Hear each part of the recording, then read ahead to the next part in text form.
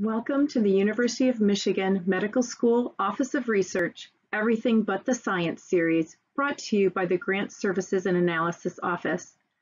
These excerpts from our R01 Bootcamp workshop are intended to assist faculty new to the NIH R series process think through best approaches to the administrative portions of grant submissions. We're going to be talking about letters. So Letters of support are another way to highlight the environment that will contribute to your success.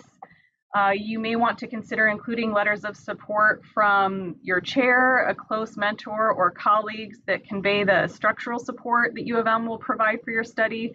And but more importantly, you want to obtain enthusiastic letters of support from leadership in the organizations or communities necessary to conduct your study.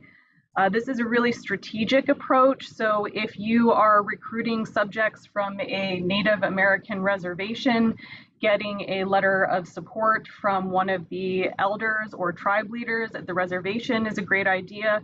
Uh, to let them know, to let the reviewers know that uh, your study population is, is really on board with the research that you're doing and invested in the research.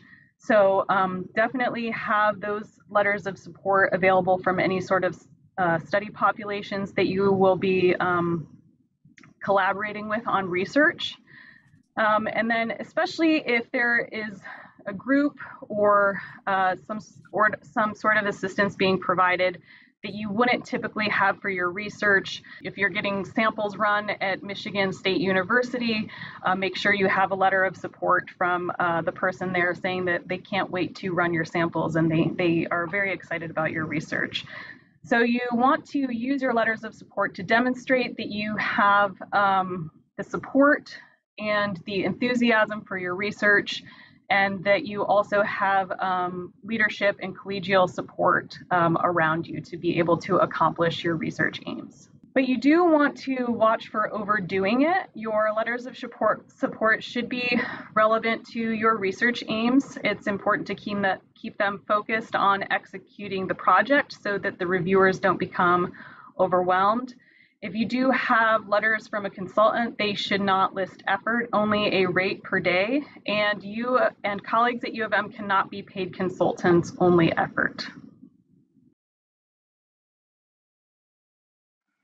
Thank you for watching this video.